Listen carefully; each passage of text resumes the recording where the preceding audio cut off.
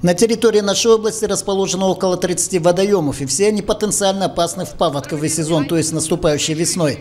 Чтобы избежать чрезвычайной ситуации, сотрудники департамента ПЧС совместно со специалистами предприятия «Кассилизащита» и «Кассушар» провели мониторинг состояния русел основных рек и водохранилищ, результаты которого потребовали немедленного реагирования. На сумму 186 миллионов 900 Э, тысяч э, тенге выделены по программе предупреждения чрезвычайных ситуаций по области, проведены русловыпрямительные работы общей протяженностью 2850 метров.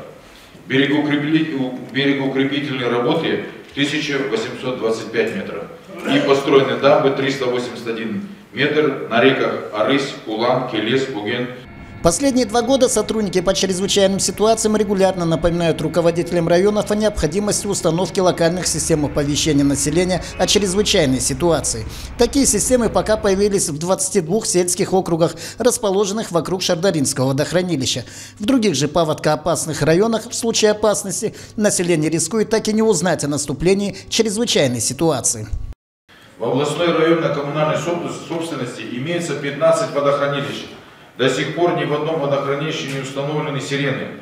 Также не проводятся работы по установке э, локальных систем оповещения акиматами Сарагачского, Сайрамского, Тюльпубасского, Тулебийского, Владимирского районов и города Кентау.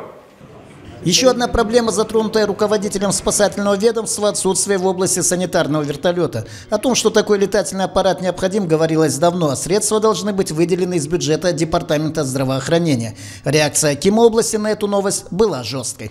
Однако до сегодняшнего дня вопрос софинансирования со стороны областного акимата остается пока нерешенным.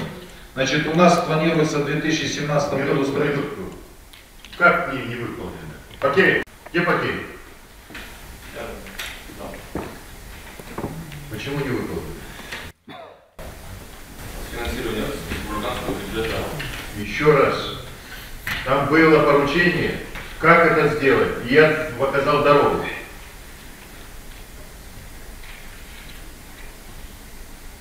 В общем, последний звонок этого.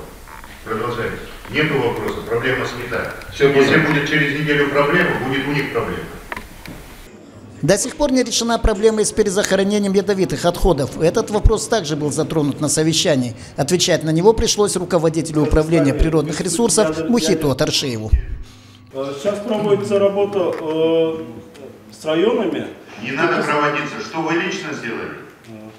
Чтобы эти материалы оказались на территории э, это, Семейского ядерного полигона и там, там, где они могут захоронить, или еще где-то. Что с землей вы сделали? Вы меня перед фактом не ставьте. Вы на этом участке для того, чтобы решать вопросы, а не проблемы поднимать. Даю вам неделю. Даете мне все вопросы решения. И то, что вы собираетесь делать. Понял. Поняли, да? Понял. И сроки исполнения. Садитесь. В завершении встречи глава области дал конкретные поручения по организации в каждом районе штабов по предупреждению наводнений и усилить работу местных комиссий.